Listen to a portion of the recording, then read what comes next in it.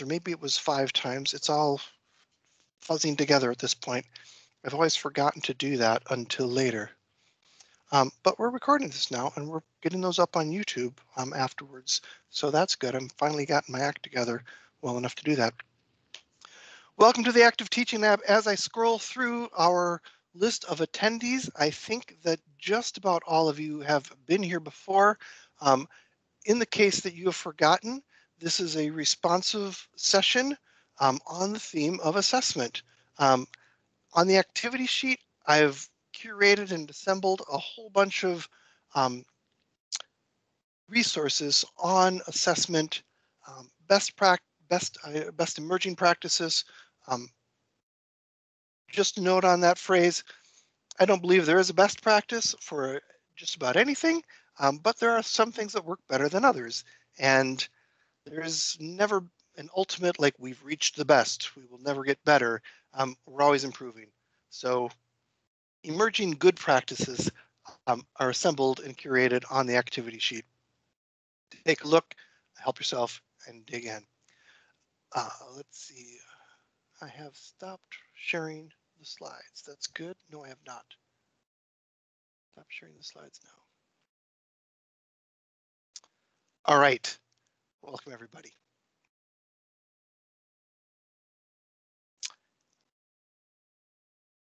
So let me now again share what is on the activity sheet.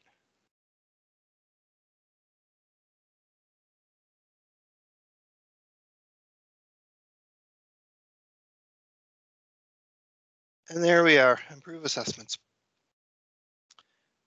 It's a, it's kind of a fun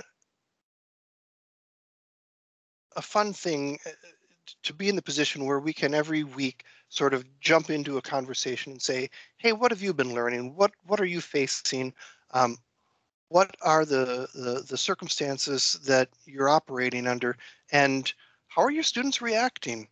And when we talk about assessments, we're talking about a very stressful um, sort of part of the instructional process, right? Where um, as instructors, we're worried, did we ask them the right questions? Are we wasting their time? Um, will will there be a lot of complaints and emails that I'll have to answer? Uh, will people be arguing about you know percentages of points that they feel that they should have gotten? For students, of course, the stress is in some ways the opposite of that. Um, have I learned enough? Did I learn the right stuff? Um, have I prepared enough? Um, are these questions even fair? I don't remember this or that or the other thing. So assessment is that sort of, in some ways it's controversial because of all of these uh, different angles that we're, we're approaching them from. Um, I would say in general, one of the best things that we can do is make assessments as surprise free and expected as possible and that means um, communicating loudly, over communicating, um, basing them on the outcomes of the course. So from the get-go of this course, I've said we're going to look at boom, boom, boom, and here it is, we're looking at boom. And next week we're going to look at boom, boom, and the third week we're going to look at boom, boom, boom, right? Or whatever those are. Having every activity that we do refer back to, remember, we're talking about this learning uh, outcome right now, or this goal, and I'm assessing you on that. And this way the students won't be surprised because it's like, oh yeah, I know that. Our instructor's been talking about that forever now. So it's old hat for us. Um, I've got four sort of overview uh, takeaways, if you will. The outcomes was the big one making assessments uh, authentic is the next one. And this one's really kind of tricky because as much as we try to say, oh, this is just like you're going to be assessed in real life, realistically, it's not. Uh, the context is different. And I guess I talk about that in the student experience here as well. Because we're in a learning situation and we have to be in a learning situation. So we're not in a performance only situation we're in a situation where we're being graded, we're coming here to learn. The expectation is that we don't already know, you know, we weren't hired because we know our stuff. We were hired in this case and as a student to learn the stuff. So it's all training and no performance in some ways. So we have to sort of respect that difference. It's not authentic in that way. We're in a classroom rather than in an immersive environment, right? Oftentimes. Um, the context is often different. Um, more often than not, our assessments, we expect our students to do their work alone, right? Take the exam by yourself, don't look up the answers, don't ask other students the answers. But in many of our professional practices, authentically, when we have a question and we don't know the answer, we turn to our colleagues and we say, hey, I forgot this, or help me. What did we talk about this? What's the best way to do this from your experience? And we have these just very collaborative discussions. So that's how we perform. We aren't sort of more often than not, we're not told answer this question um, without looking left or right, without looking up or down, without asking anybody else, um, and you have you know two minutes to answer this question. That's not realistic in most of our professions. If it is realistic for the profession that you're um, teaching, for the discipline that you're um, teaching in, then by all means, that makes sense. Make it authentic. All right, and that's that one. That's that's tricky, and that's that's a hard one. For, and and I expect and I want pushback and pullback on that because um, it's something about the tradition of instruction, uh, formal instruction, college, high school, grade school, you know, throughout. Um, we've really been socialized that cheating means asking colleagues for help. Cheating means um, using the resources that we have to look up answers. Todd, go ahead. Thanks, John. I, I love this line of thinking. And, and have you thought much about um, how to um, make explicit the ways in which instructors are collaborating or are colleagues with students? right? Because it, there's a there's a really inauthentic way of doing that, saying oh, I'm a physicist and you too are physicists, and that's simply not true in all advanced graduate courses. And so, right. I mean, have, have you thought about um, sort of working with instructors or in your own practice of of helping students see in what ways you are their colleague and and and collaborating with them? Yeah, this is in many ways um, everybody's heard of Bloom's cognitive taxonomy, right? Where we talk about remembering and understanding and and um, all the way up to like creating and evaluating and synthesizing, etc., etc. In this, he also did a taxonomy called the affective uh, domain, right? Where it's do I just respond or um, what are the it's respond and value uh, and then eventually you you know do you see the world through that lens and when you start to see the world through the lens of whatever discipline that, you know, a professional in whatever discipline you're in, then you're at that level of the graduate student or the doctoral student or, you know, the professional um, who can be your colleague.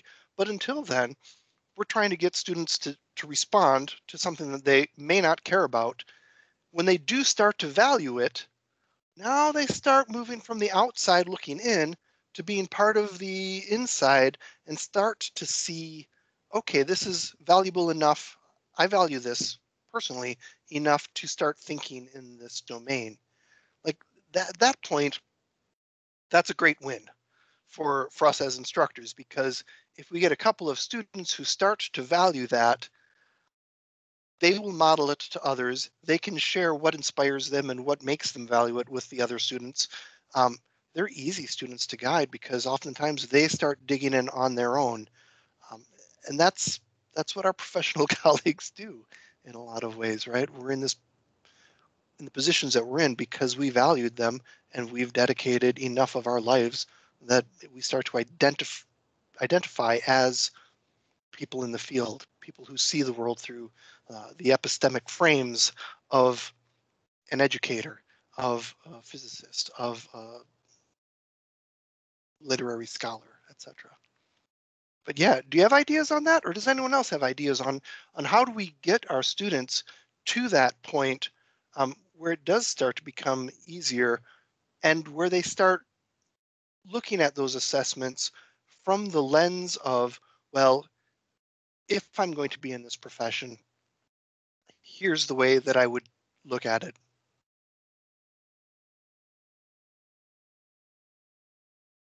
And if you want to use the chat, you can use the chat. If you want to uh, raise your hand or unmute yourself, feel free to do that and jump right in. It's fair game and it's a small enough group that we don't have to, um, I don't even think we need to raise our hands necessarily.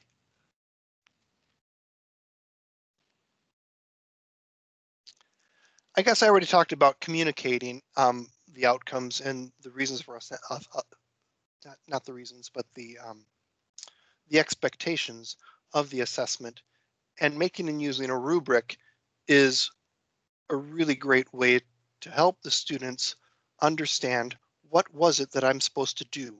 What was it that I'm supposed to learn? Um, and if we can, if they can do that, um, that removes a lot of the cognitive load of trying to guess what does the instructor want here and you know, students do that all the time. They try to decode us and figure out what makes us tick and what will we like and what will we not like. And we can help them by just telling them with a rubric, here are the things that I'm looking for. Um, this is the way that I want you to think about X, Y, or Z or whatever that we're talking about. All right, those are the four over uh, four points in my overview if somebody has a fifth point, uh, think that, that they think is important, I encourage you to just jump right in there and add it. Um, we can do that, it's editable. Uh, we've got some questions here that are starting to happen. I'm gonna scroll past them for now and uh, point out that each of those four points above are developed in some ways farther below. Um, so let course goals drive assessment is learning outcomes one. Um, and then there are some different ways uh, to do some some of these things and different ideas uh, using rubrics again. I would be remiss if I don't always talk about equ equity and using universal design uh, for learning, providing options. Uh, there are a lot of alternatives uh, that we don't even have to jump into like how do I make my exam better? We can take the question one step deeper, one step back, and simplify and say, do I need an exam? Or can I have a series of quizzes? Um, can I get my students to ask those questions? Um, which is a great metacognitive exercise for them, by the way, right? Because we start giving them more of the responsibility, uh, allowing them to take on more of the responsibility of their of, of their learning. Um, they get to reflect on what would a good quiz question be.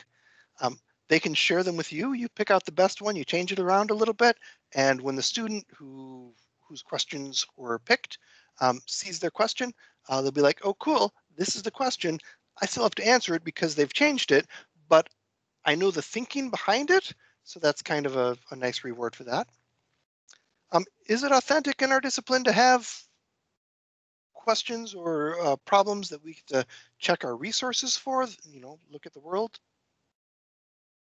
Um, can I present my knowledge in a way that um, makes more sense than answering a question? Um, or can I answer the question with a slide or a demonstration? Um, can we do some research and put together collaboratively without the whole class uh, an annotated anthology or, or, or uh, bibliography? fact sheets, et cetera, et cetera, et cetera. There's much more down there.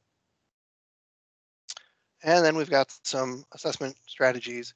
And then on the bottom, um, Honorlock is a very popular uh, topic of conversation in assessment at UW-Madison these days. And we've got the official word on that. And then uh, just a sort of reminder to make the student-centered assessment choices, right? So assessment, remember, is about the students learning, not about primarily our teaching, although we do get feedback on our teaching through assessments. So keep their experience in mind. any thoughts on or questions on what we've talked about so far, what I've talked about so far? And I've done too much talking, so I will invite others to jump in again.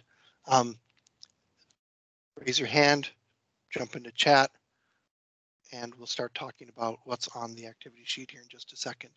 But I want to give people a, a, a quick moment to raise their hand while I take a sip.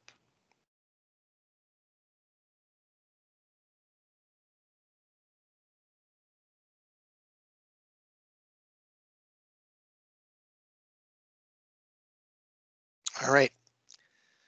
Moving on from the overview then, let's look at the table and unpack this. Um, how are we, or might we communicate with students about the purpose and values of a given assessment or the assessments within a course? Great. I have not looked at the stuff on the left on the right yet, so as I do that, I want to point out this part here, the purposes and the values. As Todd and I were talking about earlier, that affective domain of responding, valuing, um, seeing the world through the lens of uh, somebody in our discipline or the epistel epistemic frames, I think is what the, the edu edubabble um, phrase for that. That's great when that happens. Until they have that on their own, sometimes they have to sort of they need help in getting that, right? So it's up to us to communicate that. There are so many ways to do that.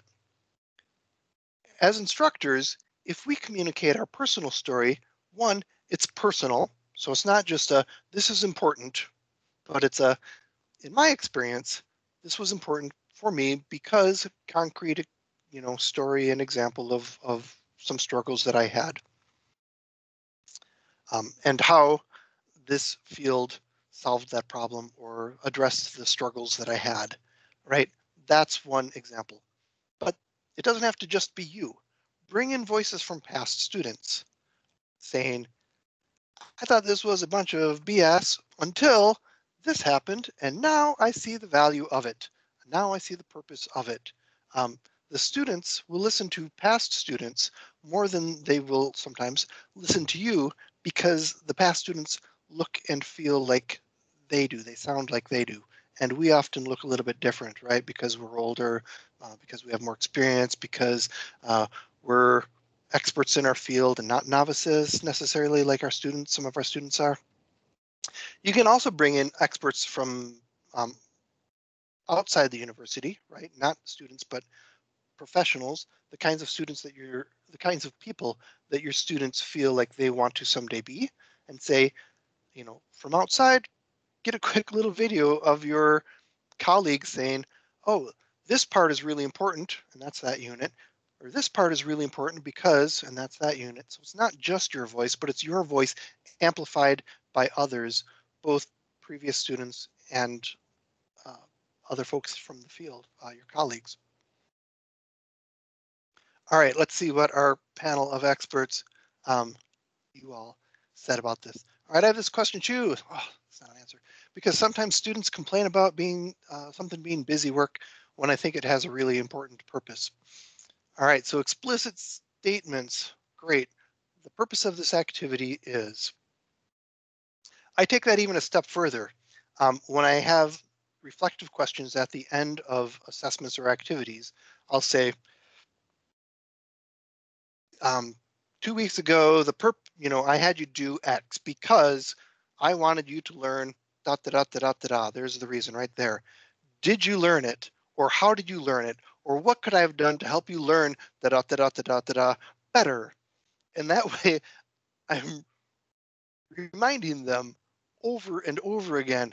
This was the point. Did you get the point? This was the point. How can I get the point better? Can I get the point, which was this, you know, to you one more, you know, even more effectively? And every time they see that, the synapses go a little bit deeper, right? And they start saying, oh, okay, I think I'm starting to get the point now. So that, I think those explicit statements really help. And there's an agreement. Citing the learning objectives. There it is. It's a bigger purpose. All right, and I love this because this helps us, it helps us as well. It doesn't just help the students understand this is why we're doing it, but the more we remind ourselves of it, the more we can weed out and say, oh, this activity was, I thought was really cool, but come to think of it, it might not be important enough to spend the amount of time that we're spending on it because it doesn't connect with our learning um, outcomes that we're looking for. Angela, go ahead.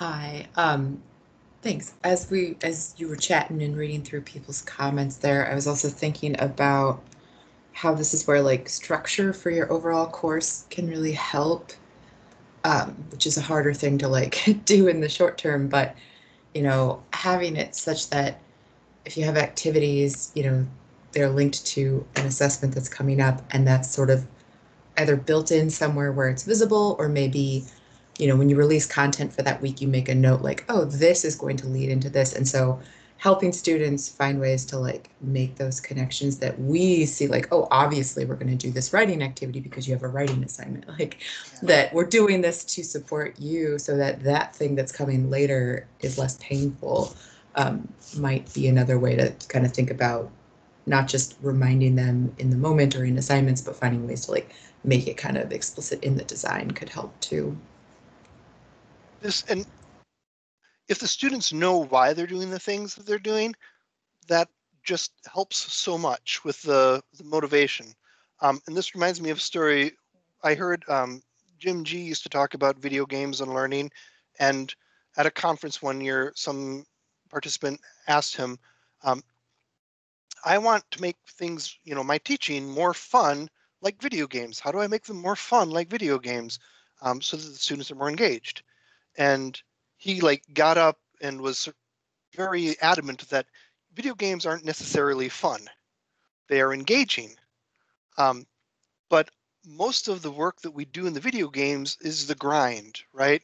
There's a fun thing. We see a problem up here that we want to get to, and we recognize that in order to get the skills that are necessary to kill the boss at the level or to, to get past the level, we need to do all of this other stuff and work through that. And doing that can take hours and it can be tedious and it can be not fun at all, but it's engaging because it's driven by our, our motivation to get to this point and solve that difficult problem that we desperately want to solve wanting to solve a problem desperate enough that we are willing to get to do, to do all of these things to get to that point, that's cool. And that is something that I think that education as instructors, we should strive for figuring out how to crack that nut, but we haven't yet, or at least I haven't yet. Um, and I haven't seen really good examples of it.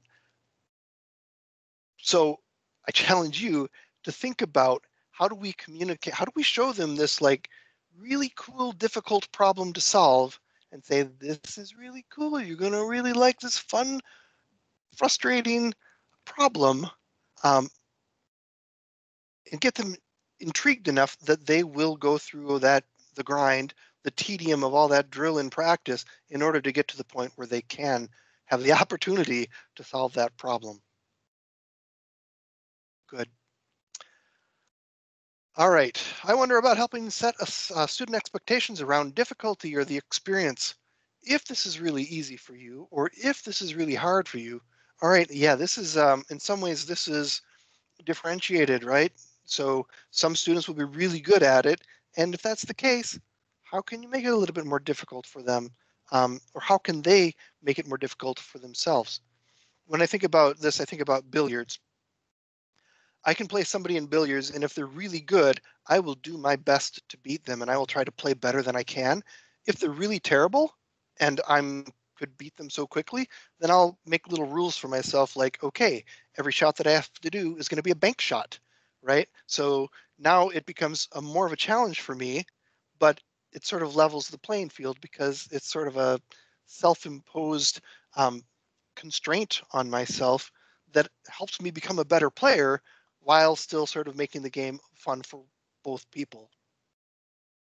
Um, so I, I like this question. How do we set those student expectations on that? Any other ideas? Todd says hand. go ahead. Oh, that was Angela's I, hand. Pete- I think that was- Peter actually had a hand up. Oh, okay, Um, Peter, thank you. You Go know, ahead. I wanted to add, I, I, you know, because in my experience, it has, you know, like over the last two semesters teaching remotely, it has been invaluable to spell out in writing the objectives and the the purposes of what you want them to learn. You know, because it seems to me, you know, like that was kind of like in the in-person environment, it's automatic. You know, like you say, okay, I want you to do this and this because of that and that. But you know, people in the remote environment kind of like it's it's easy to miss you saying something. And so then later on, you know, when they're doing the assignment or what whatever, you know, I think I I have gotten very um, good positive feedback from the students and saying, I really like that you put explicitly in the assignment what you wanted us to do and why it, why you wanted us to do it. You know, so that I mean, I think multiple modalities communicating the effectiveness of of things is is invaluable.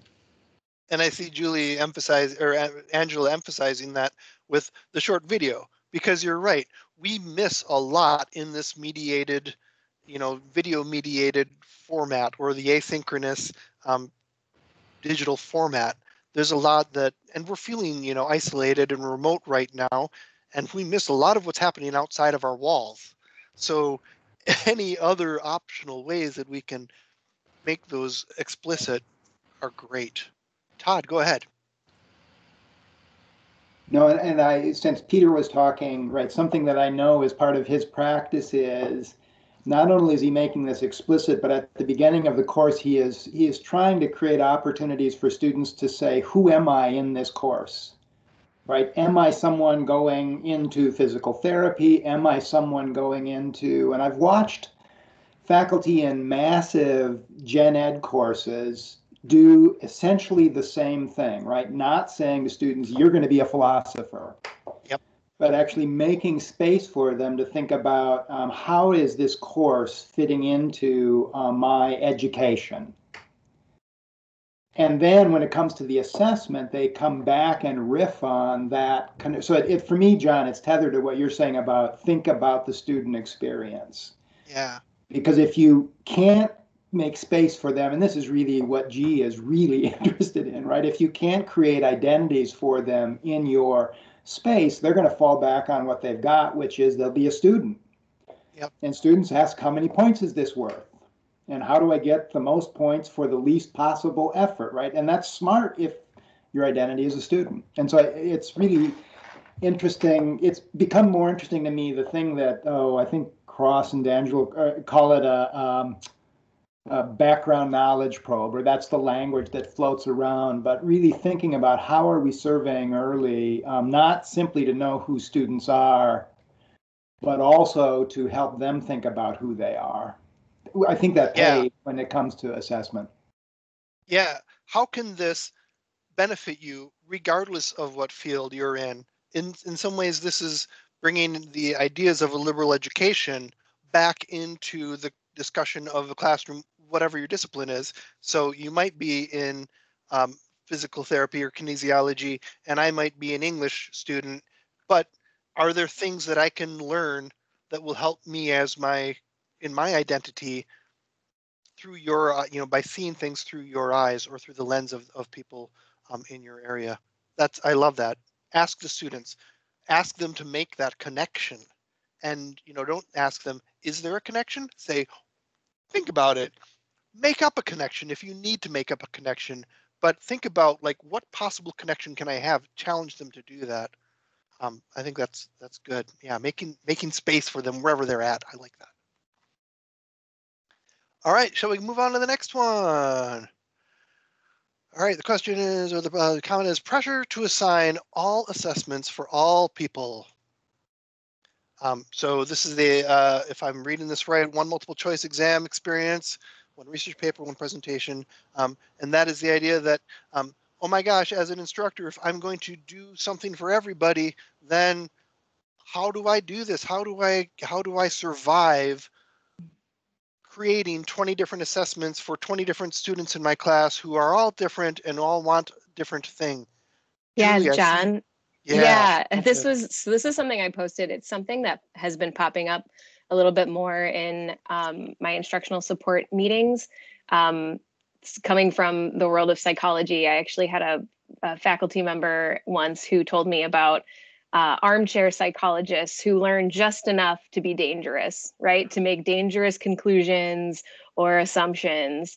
And so I'm actually seeing this a little bit in popping up in instruction where folks like looked at a universal design chart and took what they took and have decided okay so that means i need to assign one high stakes exam one high stakes paper one high stakes presentation and provide essentially zero scaffolding right? So uh, one example uh, an instructor um, you know assigned this major multiple choice assessment at the end of the semester but assigned nothing but papers leading up to it.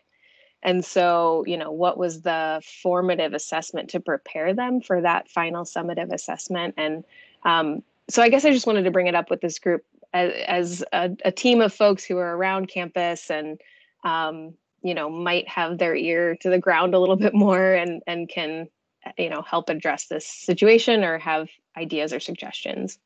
Yeah. And universal design doesn't necessarily mean that everybody needs to have their own, you know, boutique assessment created specifically for them.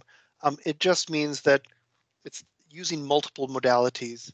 Um, if instead of just one exam, you know, one thing, you give them a choice of two things, you've already doubled their options. Um, and it, you know, one might be easier for somebody or tie more carefully into um, the background knowledge that they come to class with, or their experiences, or their values, or their skills. And they might say, wow, I've got some skills in this. So even if I don't know a lot about the topic, I can use my skills that I have here and use that lens to dig in more. Um, because, you know, there's something that relates to me about this assessment that I can connect to versus, oh my gosh, I didn't know how to write a paper and I don't know how anything about the topic. I'm just totally lost on that and that will feel overwhelming. At least I've got something that I can hang on to.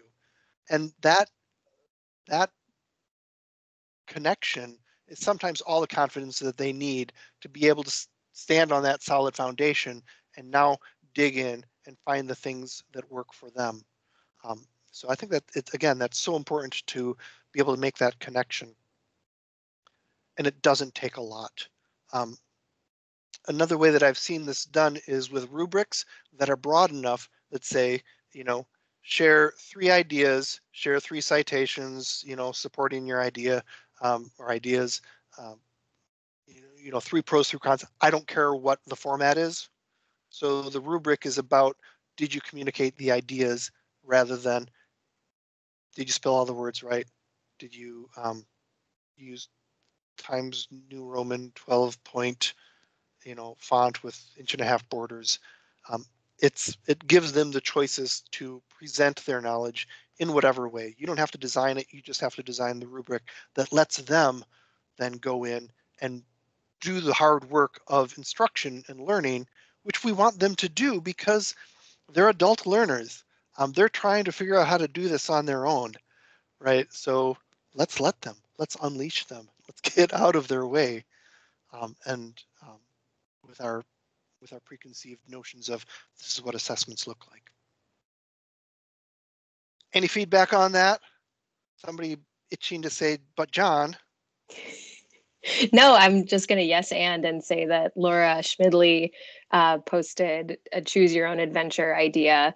Um, and I know you and I have talked about this in the past, but that's such a fun assignment. And if you have if you have room or space in your course to build something like that, especially something that can progress over time throughout the semester, um, it can be a wonderful experience for both you and your students. I know I've done it a few times and it's a lot of fun.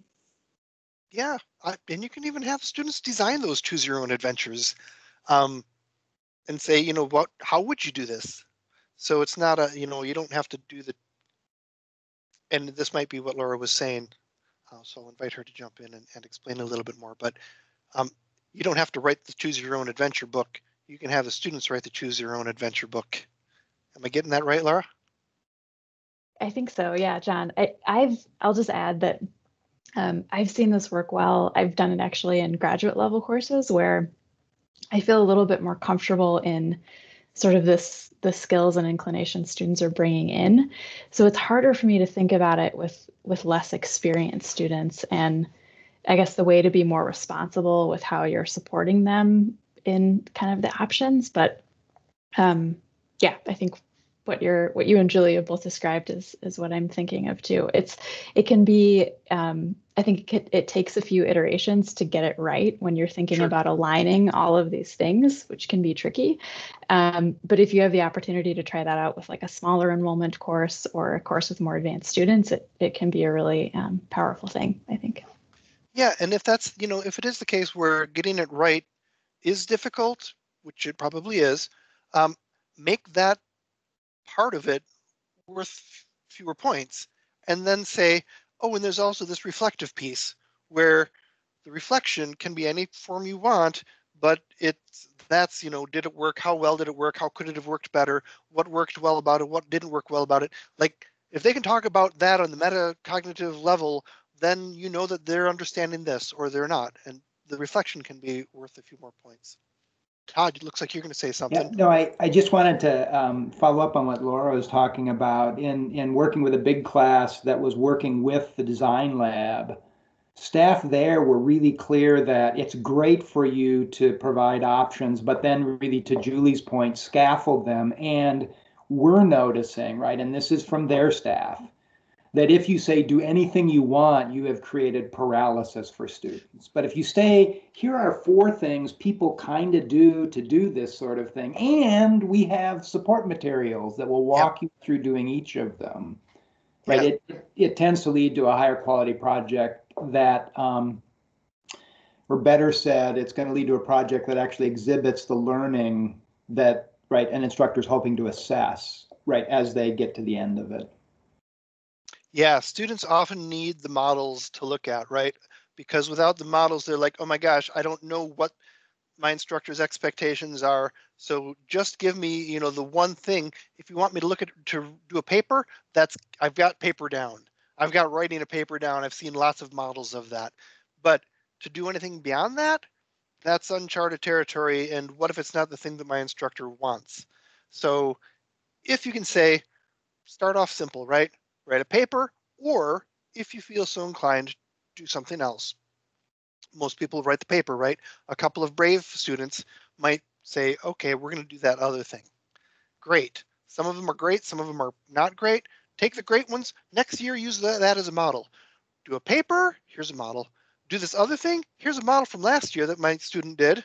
Or do a third thing, right? And so we're slowly building up these models that the students can look to and say, that one looks like that'll fit. All of them fit within the rubric that we've decided um, assesses the things that we want them to know about. So that's a really good point about if you don't scaffold that, if you don't give them models, then they they won't do it. It's too scary. It's an unknown world. So great. Low stakes, great. And decreasing, yeah, changing that up helps people. And and again, um, in, in some way, this idea is, again, multiple means. So one mean could be the quiz this week and the quiz next week instead of the one exam that's worth everything. Multiple small things. That's an interpretation of multiple means of, of uh, expression. Okay. Hey, John, sorry to interrupt. Yes. Um, I think you may have skipped over a, a really fun comment that someone posted about I having a group component of quizzes. yes, thank you. Yeah. I was just looking at that, thinking that I just missed that. Yeah, you want to talk about that? Um, so Laura also posted uh, about that. Um, and actually, I think someone else posted the original comment, um, I can give them space to speak first. Hey, that was my comment um, based on the question about if there are any changes to assessment that you made that you're thinking of carrying on, regardless of if you're like back in person or remote. And so, yeah, with I used to have four or five actually paper based quizzes. That was, you know, you get an hour, take the quiz, we collect the quiz, and, you know, I think students always got pretty stressed about that. They still get stressed in the online environment, but it's a much more open, there's like a 36 hour period. Um, once they start the quiz, there is a four hour timer, but it's not meant to take four hours. It's just to like, so they're not spending their whole lives on this. Um, it should ideally take 30 to 60 minutes, but essentially it's open notes, open whatever, and it's having them create something like, you know, here's some parameters, design an experiment, or here's uh, some data to analyze, you know, create a figure based on that data and, and talk about it. So it's definitely a lot more open and I think it's allowing students to like practice what they've learned in a different way. It's a lab course. Um, but I am thinking I'd like to find some kind of happy medium where I've always played with this idea of doing group quizzes. I've heard about it from a lot of people and this idea like you take something independently, you do the the quiz kind of on your own, get your ideas out and then get together with a group and kind of rehash it and maybe turn in like a separate version that the group uh, agreed upon. Um, and I think Julie made a comment about like how you could potentially grade that, but that's definitely something I've been like thinking about for years. And now I feel like I have a nice medium or set of questions that I could modify into something that's a little beyond just like your memorized stuff. Um, and then I would probably have them be able to access their notes during the second, you know, group project. So really, they could actually put together a, a more final answer for that part. Great. And this idea of, of not a plain old paper quiz and giving the students a little bit more um, agency in those quizzes makes me also remember a um, an example where we had an instructor who would assign quizzes, say every quiz question is worth five points, but students, it's up to you. If it's a multiple choice quiz, for example, easy to grade, you can say, I am absolutely sure that the answer is A, and I'm going to bet five points on that. Or you can say, I think it's A, but I'm not positive, so I'm going to bet three points on A and two points on B, because it's either A or B, right? Or you can say, I don't know what it is, so one point on A, one point on B, one point on C, one point on D, one point on E, you know, and that way I'll win at least one point, but I'll lose four points. So it's kind of a, it adds this gambling sort of um, wager amount on it, which in some ways, you know, there's a cost to getting it wrong. So you're not, you know, losing every, but you're not losing everything. Um, unless you bet all on five and it's actually on A and it's actually D, then you've lost everything. But that that too says, you know, that's a great metacognitive um, exercise because it's not just what is the answer, but how certain am I of this answer? You know, and that causes uh, you to think about like, well, I learned this and and yes, I remember that that day we talked about this, this, and this, and I'm positive that that was there. So you're thinking back to what are the what are the elements uh, of this? All right, and Todd's got Barkley and Major um, with their thoughts on and it's it's a, a, learning assessment technique number nine. Awesome, fantastic, and Kate's done it as well. Good. All right, well, so there's an idea. 11 things that you've learned about assessments today. And thank you, Julie, for pointing out that I totally missed this whole question. Um, I want to open it up to anyone else in the room here. What other things have you decided that you're going to change based on what you've learned this last year?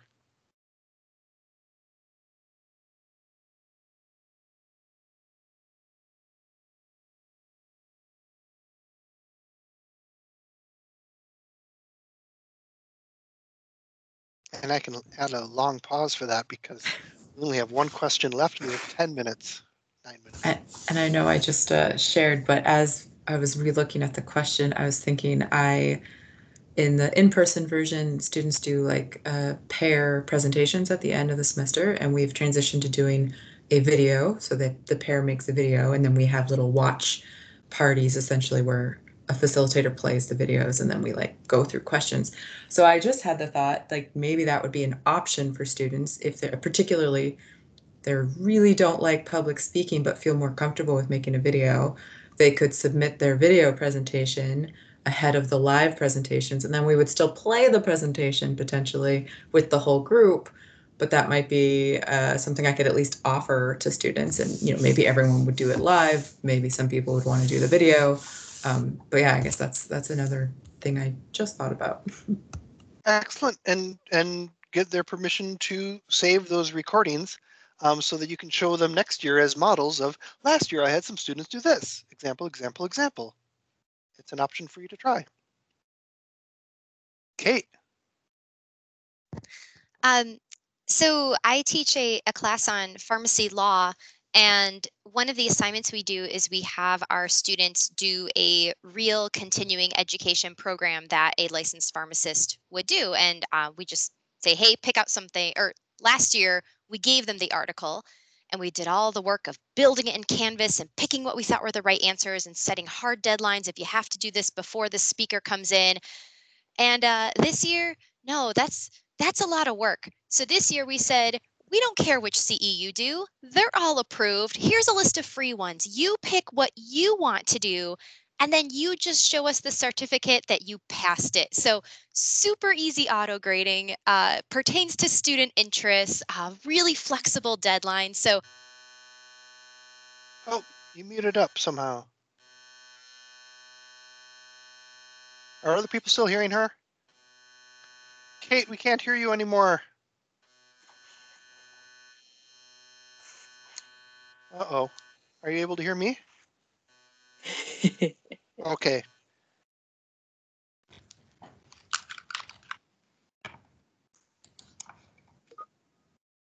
All right. Oh, yeah, my back. microphone failed. Phones. oh, Sorry, we heard you right after super easy uh, to grade, auto grading. That's where the buzzing started. Yeah, so super easy to grade. Um, it pertains to student interests. We didn't, ha- you know, we have a really flexible deadline. So um, I think on all fronts, it was definitely a much improved assessment, um, both from the student perspective and from our perspective. Do you then have them come in and do any sort of summary of their courses for the other students?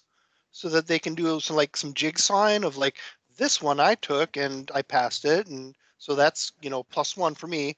But also for you, for your information, here are the best things that I learned from it. Here's what I would suggest for it. So Mhm. it builds that sort of cohort um, jigsawing. You know, I, I hadn't thought about that part. It's it's a class that has no discussion sections or small groups. It was intended to just be one big lecture and that's all you get. So we've been very creative with how we use that time and, and build engagement. Um, but I love that idea. At a minimum, we could ask students, hey, how was your CE? Would you recommend this to other Yeah. students? And then we can kind of curate a better list for next year. So I like that. Yeah, and the students then would appreciate not having having somebody else review something before they jumped into it Mhm. as a like, wow, this you know this sucked way worse than I thought it would. You know, by reading the description of it, somebody's gone through it already and can recommend the ones, the good ones. Excellent. I like it. Okay, good. All right, how do we create a culture that in engaged in-class discussion is essential to the success of a course without having to police this by taking attendance, attaching points to everything, etc. All right, I'm going to go through the ideas before I give you mine. Uh, let's see the structured Google worksheet, structured Google uh, slide idea so that there's some evidence of effort. I think that that's really useful for students too, because otherwise they'll get into a group and they don't know how to proceed. Uh, they don't know what other people are going to be like. This gives them some like work to do while they make these relationships uh, in their small group, and it helps guide that. Um, so for the first couple of times that you do this, yeah, give them the guidance. Eventually, if they're in the same small group, they're going to learn to build relationships with each other and they won't need as much structure and they can go beyond, I think, um, sort of the, the highly structured activity into a less structured activity. All right, and I love this as well. Um, how awful was that activity? My head hurts.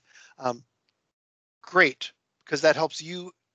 But again, it also reminds, it brings up that activity, that the memory of that activity and what they learned in their head again, which is revisiting, which is that distributed um, learning rather than massed learning. Every time we get our students to think back about what they learned, helps them learn that better. So I'm, I'm a big fan of reflection questions.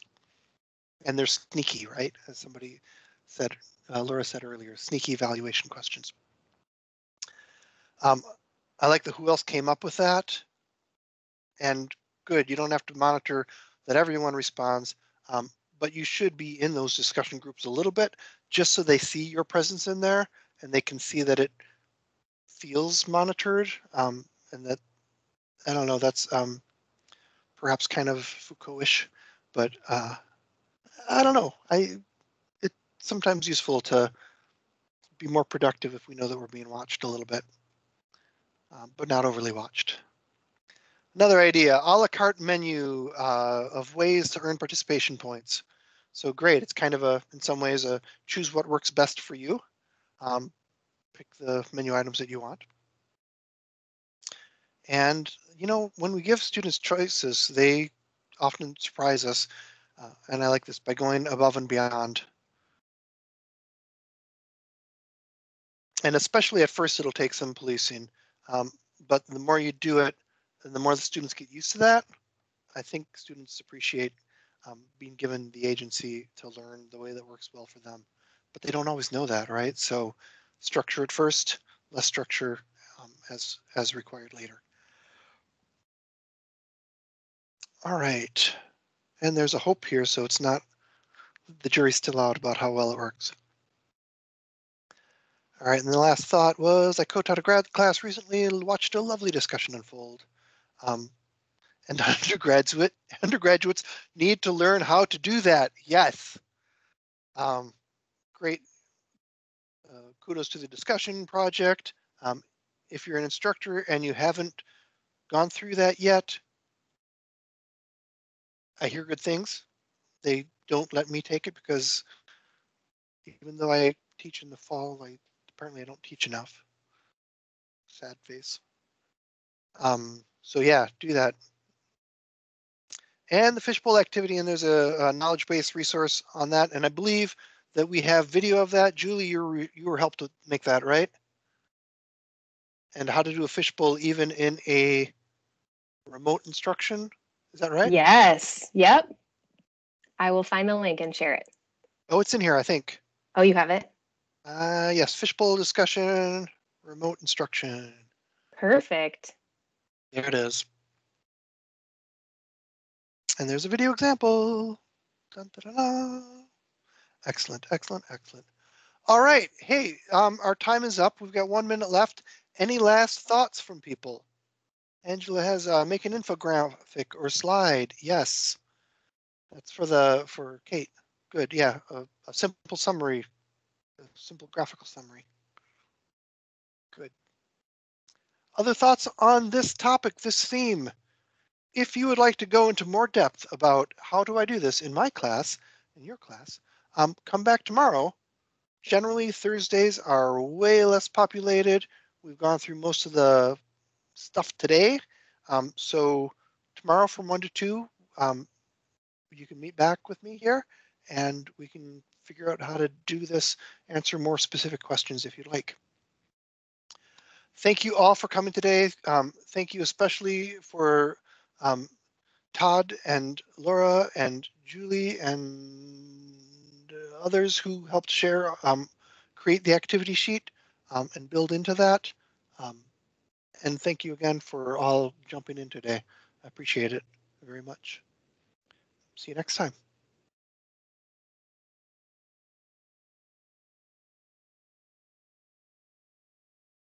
And I actually have a meeting right now. Usually I stick around for a few more minutes afterwards, but I've got a two o'clock meeting that was scheduled today.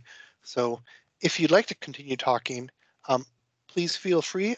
I don't, if I leave, do I close the meeting? I don't know. Or can you keep on meeting? Well, if the meeting is closed, come back tomorrow.